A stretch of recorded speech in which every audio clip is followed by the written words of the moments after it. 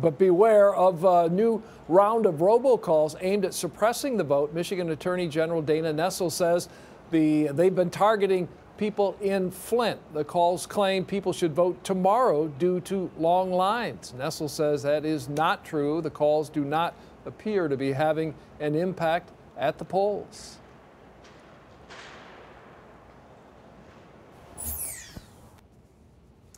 We have been uh, out at uh, polling places all day long, and there have been some issues popping up here and there. 7 Action News reporter Andrea Isom live in Southfield. Uh, Andrea, what have you uh, seen so far today? Well, you guys, like everyone around here knows that the polls open this morning, and people emailing the station about the problems they were seeing at the polls just a few minutes right after that. As you well know, no election day is perfect. Most are coupled with hiccups, problems at the polls. So when we got wind of them, we went to see for ourselves. First stop, a precinct in Pontiac. I was number seven. The first lady in District 8, bless her heart, she forgot to take off the perforated part and broke the machine. So District 8 has got a long wait. Well, that problem was swiftly solved and voting resumed, leaving citizens satisfied with that and then some. They were really informative. They told us what was going on.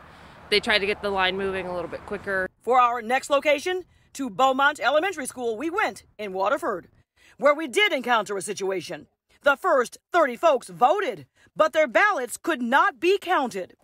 One of the poll workers said the confusion all boiled down to a training issue, but all of the volunteers were quickly brought up to speed and each of those voters were promised that their vote will be counted when the polls close. So from there, we were off to Southfield, where we met Miss Sophia. I got here at 9 a.m. this morning, and I sat in that parking lot until 12:55 because they didn't have a machine here for me to use to vote as a disabled person. The city did offer her alternate options, but they were not what Miss Sophia was used to.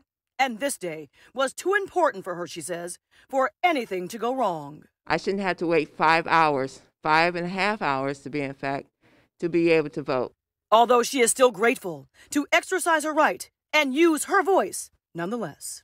So, yes, there have been issues, but there has also been enthusiasm that cannot be curbed. I've never seen a line here ever. So, yay, people are voting. Yay.